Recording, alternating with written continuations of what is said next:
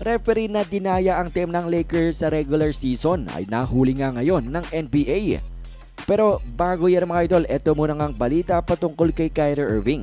Dahil matapos nga siya na maging sneaker free agent, matapos nga siyang ilaglag ng Nike, ay alam natin na maraming ang brands ang gustong kumuha kay Kyrie. Nandyan nga mga idol ang Adidas at pati na rin ang ibang mga brand at ito nga rin daw Anta mga idol ang brand ni Thompson ay meron nga daw heavy interest dito kay Kyrie Irving. And I think expected na rin naman natin na nung nalaglag nga, nung nawala na itong si Kyrie sa Nike ay magiging sobrang interesado ang ibang mga shoe brand. Isa naman si Kyrie Irving, di ba mga idol, sa mga pinakasikat na NBA players at lalo na yung style of play niya pa ay talaga namang maraming umiidolo dito kay Kyrie Irving. Kaya parang makakahit nga ng jackpot kung sino mang shoe brand ang makakakuha dito kay Irving. Balita nga noon na siya ang one of the best athletes ng Nike pagdating sa revenue. So for sure kung sinong shoe brand yan ang makakuha kay Irving ay kikita nga ng malaki sa kanya. Pero sa ngayon ay mukhang tinitingnan pa ni Kyrie Irving ang lahat ng kanyang option. Hindi siya nagmamadali dahil mag-iilang buwan na rin since malagdag nga siya ng Nike, wala pa rin siyang shoe brand. Anyways mga idol, ngayon ay pag-usapan na nga natin ang referee na si Eric Lewis na isa nga sa mga referee mga idol na nag-officiate ng Lakers at Celtics game. Kung saan, di ba mga idol, nagkaroon nga ng kontrobersya doon about sa no call dito kay Lebron James, a very obvious na foul call. Pero ngayon mga idol hindi pa natapos. Ito nga kay Eric Lewis ang issue niya.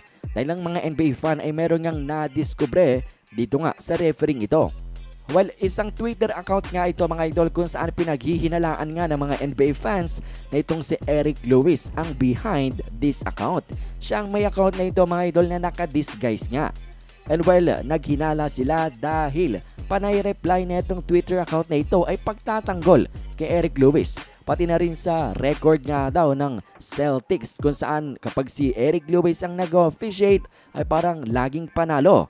And I think mga idol, alam nyo naman na na ang pamilya ni Eric Lewis, ang kanyang buong pamilya ay fan nga ng Boston Celtics. Kaya naman mga idol, ang NBA ay umaksyon na rin. Sabi dito ni Mark Stein, ang NBA daw ay nagbukas na ng investigasyon dito nga sa kanilang long-time referee na si Eric Lewis na patungkol nga daw ito mga idol sa isang Twitter account kung saan nag-reply nga daw ito sa numerous league officiating tweets at pinagtanggol nga daw itong si Eric Lewis pati na rin ng ibang mga NBA referees. Yan nga mga idol ang kalokohan daw ni Eric Lewis na inimbestigahan pa talaga ng NBA. Siya ba talaga ang tao sa likod nga ng Twitter account na ito kung saan nga ay talagang pinagtatanggol ang referee na si Eric Lewis pati na nga rin ng iba pang mga referee. And I don't know mga idol ang maaaring maging parusa dito ng NBA ni Adam Silver dito nga sa kanilang long time veteran referee.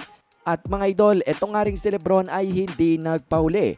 Matapos nga na mag-viral itong ang Twitter account na ito, itong video na ito, ay nag-tweet pa itong si Lebron. Kung totoo ba nga daw yung nadiskubre ng mga fan dito kay referee Eric Lewis. And of course, mga idol, for sure, meron pa rin galit yan sa loob niya si Lebron. Abot nga sa nangyari sa Lakers at Celtics game. So let's see mga idol kung ano ang magiging conclusion ng NBA mga idol patungkol nga dito sa kanilang referee at kung ano ang maaaring maging parusa sa kanya.